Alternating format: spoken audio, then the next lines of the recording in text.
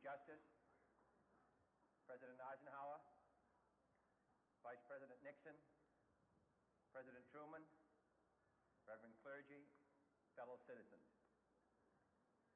We observe today not a victory of party, but a celebration of freedom, symbolizing an end as well as a beginning, signifying renewal as well as change.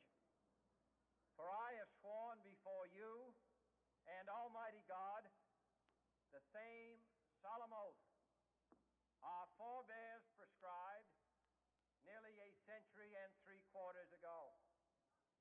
The world is very different now, for man holds in his mortal hands the power to abolish all forms of human poverty and all forms of human life.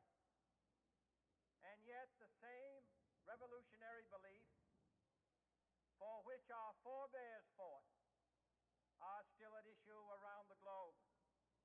The belief that the rights of man come not from the generosity of the state, but from the hand of God.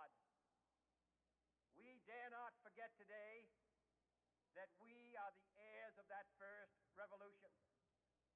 Let the word go forth from this time and place to friend and foe alike that the torch has been passed to a new generation of Americans born in this century, tempered by war, disciplined by a hard and bitter peace, proud of our ancient heritage, and unwilling to witness or permit the slow undoing of those human rights to which this nation has always been committed and to which we are committed today at home and around the world.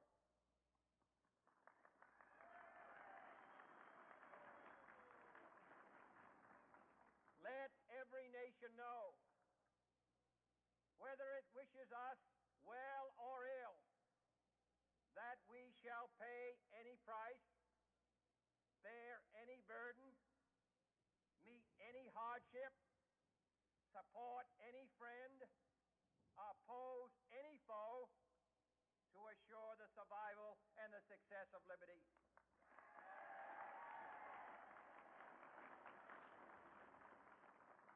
This much we pledge and more.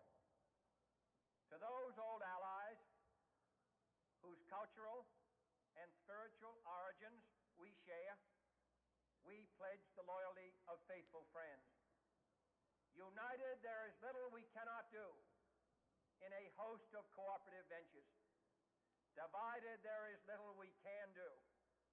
For we dare not meet a powerful challenge at odds and split asunder. To those new states whom we welcome to the ranks of the free, we pledge our word that one form of colonial control shall not have passed away merely to be replaced by a far more iron tyranny. We shall not always expect to find them supporting our view, but we shall always hope to find them strongly supporting their own freedom. And to remember